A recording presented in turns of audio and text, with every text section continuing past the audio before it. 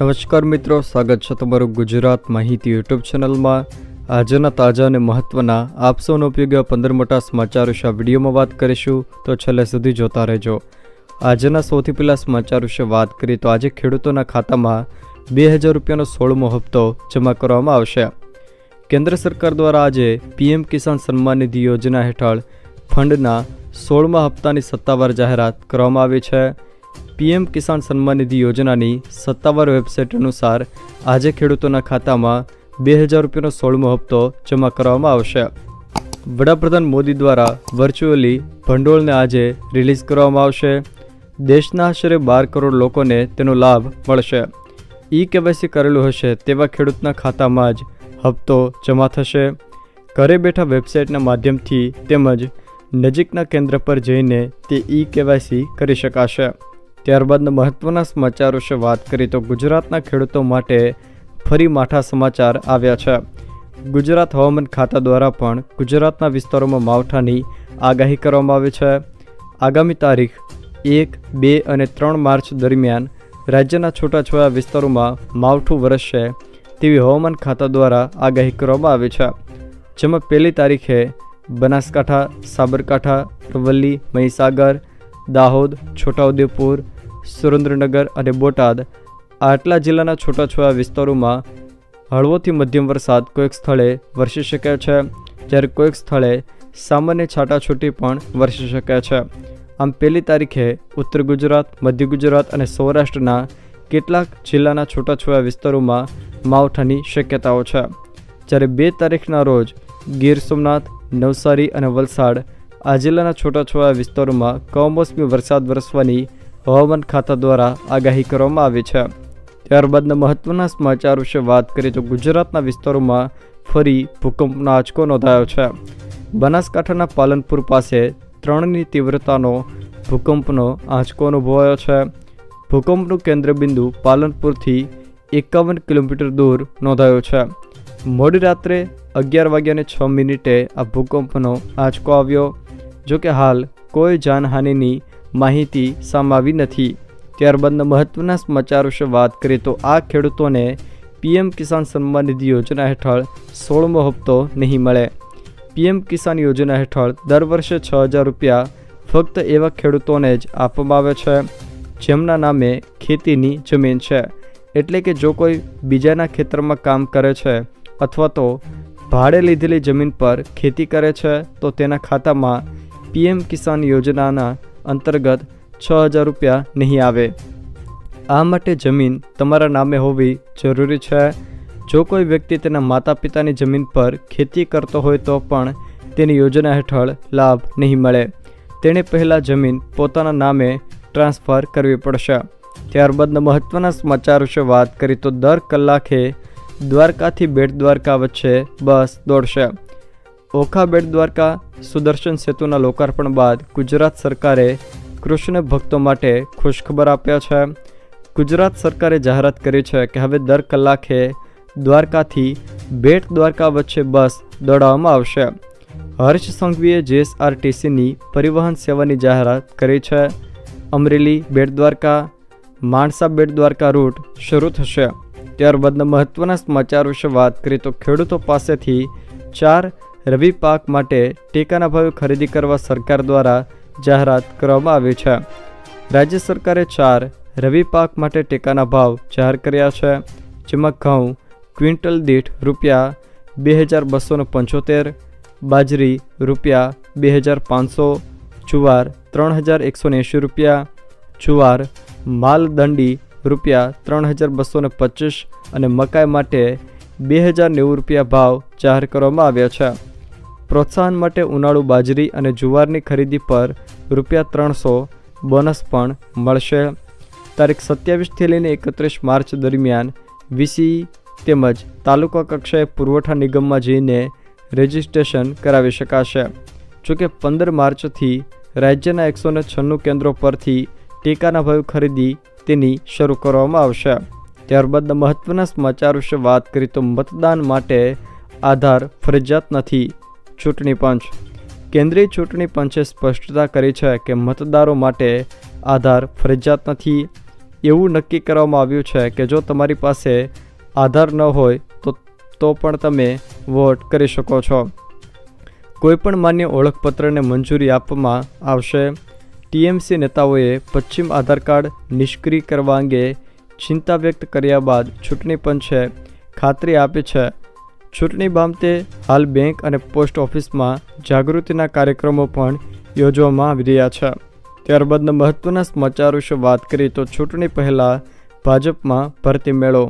લોકસભા ચૂંટણી પહેલાં કોંગ્રેસને મોટો ઝટકો લાગ્યો છે. કોંગ્રેસના દિગ્ગજ નેતા અને પૂર્વ કેન્દ્રીય મંત્રી નારણ રાઠવા વિધિવત રીતે કેસરીયો ખેસ પહેરીને ભાજપમાં જોડાયા છે. પ્રદેશ પ્રમુખ સી આર પાટીલના હસ્તે તેમને ખેસ પહેર્યો છે.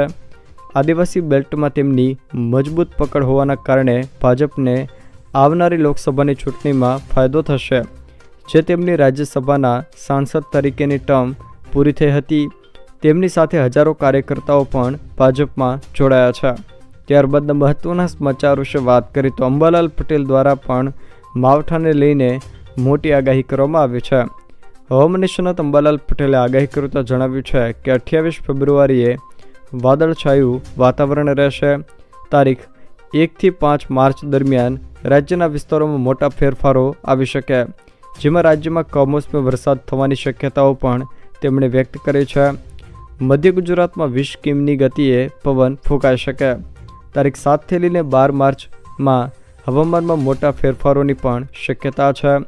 જોકે પંદર માર્ચ સુધીમાં મહત્તમ તાપમાન વધશે તેવું પણ તેમણે જણાવ્યું છે. ત્યારબાદના મહત્ત્વના સમાચાર વિશે વાત કરીએ તો ગોંડલ યાર્ડમાં મરચાની મબલખ આવક થઈ છે. ગોંડલ માર્કેટિંગ યાર્ડમાં મરચાની મબલખ આવક થઈ રહી છે. ગઈકાલે એક જ દિવસમાં પાસઠ હજાર ભારીની આવક નોંધાઈ હતી. વાહનોની છ કિલોમીટર સુધીની લાઇન જોવા મળી હતી. મરચાના પ્રતિ મણ એક હજારથી લઈને ચાર હજાર રૂપિયા ભાવ બોલાયો હતો. જોકે ખેડૂતોના જણાવ્યા મુજબ, વાતાવરણની અસરના કારણે આ વર્ષે મરચવાનું થોડા પ્રમાણમાં નબળું રહ્યું છે. રાજકોટ, મોરબી, જામનગર, ભાવનગર, સુરેન્દ્રનગર અને પોરબંદરથી મરચાની આવક થઈ હતી. ત્યારબાદના મહત્ત્વના સમાચાર વિશે વાત કરીએ તો પોલીસ ભરતી અંગે હર્ષ સંઘવી દ્વારા મોટી જાહેરાત કરવામાં આવી છે. ધારાસભ્ય શૈલેષ પરમારે વિધાનસભામાં વસ્તીના ધોરણે અમદાવાદ પોલીસની ઘટ કેટલી છે તે સવાલ પૂછ્યો હતો. જવાબમાં ગૃહમંત્રી હર્ષ સંઘવીએ કહ્યું કે પોલીસ પબ્લિક રેશિયો જળવાય તે માટે નવી ભરતી કરવામાં આવશે. આવનારા સમયમાં ગુજરાત પોલીસમાં અગિયાર હજાર નવી ભરતી થશે, જેમાં નવા પાંચસો સત્તાણું પીએસઆઈ, છ હજાર છસો કોન્સ્ટેબલ અને એસઆરપીની ભરતી થશે. જોકે છેલ્લા બે વર્ષમાં પોલીસમાં બાર હજાર આઠસો સોળ જગ્યા પર ભરતી થઈ છે. દેશમાં ગુજરાત ક્રાઇમ રેટમાં તેત્રીસમાં ક્રમે છે તેવું પણ હર્ષ સંઘવીએ જણાવ્યું હતું. ત્યારબાદના મહત્ત્વના સમાચાર વિશે વાત કરી તો ગુજરાતમાં મેડિકલ સર્ટિફિકેટ બતાવીને દારૂની પરમિટ લેનારા વધ્યા છે. ગુજરાતમાં મેડિકલ સર્ટિફિકેટના આધારે દારૂની પરમિટ લેનારાઓની સંખ્યામાં સતત વધારો થઈ રહ્યો છે. જોકે આ પરમિટ સરકાર માટે કમાણીનું માધ્યમ બની છે. દારૂની પરમિટ ઇસ્યુ કરીને સરકારને ત્રણ વર્ષમાં રૂપિયા આડત્રીસ પોઈન્ટ છપ્પન કરોડની આવક થઈ છે. જોકે હાલ ગુજરાતમાં ઓગણચાલીસ હજાર આઠસો અઠ્યાસી લોકો પાસે દારૂની પરમિટ છે. જ્યારે છેલ્લા ત્રણ વર્ષમાં પરમિટ માટે ચૌદ હજાર છસો ને છન્નું અરજીઓ આવી છે. ત્યારબાદના મહત્ત્વના સમાચાર વિશે વાત કરી તો બોર્ડની પરીક્ષા માટે ગાઈડલાઇન જાહેર કરવામાં આવી છે. પરીક્ષામાં થતી ચોરી પર સજાનું કોષ્ટક જાહેર કરવામાં આવ્યું છે. પરીક્ષામાં કુલ તેત્રીસ ગેરરીતિની યાદી જાહેર કરવામાં આવી છે. પાંચ ગેરરીતિ અંગે પોલીસ ફરિયાદની પણ જોગવાઈ, જોકે પરીક્ષા ખંડમાં મોબાઈલ અને સ્માર્ટ વોચ પર પ્રતિબંધ મૂકવામાં આવેલો છે. ત્યારબાદના મહત્ત્વના સમાચાર વિશે વાત કરી તો આ છ જિલ્લામાં શિક્ષકોની ઘટ હોવાનું શિક્ષણ મંત્રીએ જણાવ્યું છે. ગુજરાતના છ જિલ્લાઓમાં શિક્ષકોની ઘટ છે. શિક્ષણ મંત્રીએ વિધાનસભામાં જણાવ્યું હતું કે છ જિલ્લામાં કુલ બાવીસો ને એક્યાસી શિક્ષકોની ઘટ છે. ગીર સોમનાથ જિલ્લામાં અડસઠ શિક્ષકો, અમરેલી જિલ્લામાં ત્રણસો ને ચોર્યાસી રાજકોટ જિલ્લામાં સાતસો ને પચીસ, નવસારી જિલ્લામાં ત્રણસો ને ચોવીસ, નર્મદા જિલ્લામાં ત્રણસો ને તેત્રીસ અને વલસાડ જિલ્લામાં ત્રણસો ને સત્યાસી શિક્ષકોની ઘટ છે. છતાં ભરતી કેમ નથી થઈ રહી તેવો સવાલ ઊભો થયો છે. જોકે આના પર તમારા વિચાર જરૂરથી જણાવજો. ત્યારબાદના મહત્ત્વના સમાચાર વિશે વાત કરીએ તો એનપીએસમાં લોગિન નિયમમાં બદલાવ કરવામાં આવ્યો છે. નેશનલ પેન્શન સિસ્ટમ એકાઉન્ટમાં લોગિન કરવા માટે ઓથેન્ટિફિકેશન પ્રોસેસને વધુ કડક બનાવવામાં આવી છે. એનપીએસની સીઆરએ સિસ્ટમમાં લોગિન કરતી વખતે આધાર બેઝ વેરિફિકેશનને ફરજિયાત કરવામાં આવ્યું છે. નવા સિક્યુરિટી ફીચર્સ એક એપ્રિલ બે હજાર ચોવીસથી અમલી થશે. જોકે હવે સીઆરએ સિસ્ટમમાં લોગિન કરવા માટે ટુ ફેક્ટર ઓથેન્ટિફિકેશન પછી લોગિન કરી શકાશે. કેન્દ્રીય રેકોર્ડ કીપિંગ એજન્સી સિસ્ટમમાં લોગિન કરવા માટે આધાર બેઝ ઓથેન્ટિફિકેશન દ્વારા વધારાના સિક્યુરિટી ફીચર્સ લાગુ કરવામાં આવી રહ્યા છે. ત્યારબાદ મહત્ત્વના સમાચાર વિશે વાત કરી તો ભારતનો કાયદો. ગ્રાહક તરીકે તમારા અધિકાર જાણો. ઘણીવાર જ્યારે તમે ખરીદી કરવા જાઓ છો, ત્યારે તમારી પાસેથી કેરી બેગ માટે ચાર્જ લેવામાં આવે છે, જે ખોટું છે. કાયદા મુજબ, જો કોઈ ગ્રાહક સામાન ખરીદ્યા પછી કેરી બેગની માંગણી કરે છે, તો દુકાનદાર તેના માટે અલગથી પૈસા માંગી શકે નહીં. જો ગ્રાહક હાથમાં સામાન લઈ જઈ શકતો ન હોય, તો દુકાનદારે કેરી બેગ આપવી પડશે. અન્યથા, તમે ગ્રાહક ફોરમમાં દુકાનદાર વિશે ફરિયાદ પણ કરી શકો છો. જો મિત્રો આ વીડિયો તમને પસંદ આવ્યો હોય તો વિડીયોને લાઇક કરો, તમારા મિત્રો સાથે શેર કરો અને જો તમે અમારી ચેનલમાં નવા હો તો ચેનલને સબસ્ક્રાઈબ જરૂર કરજો, જેથી મારા આવનારા તમામ વિડીયોની માહિતી તમારા સુધી પહોંચી શકે.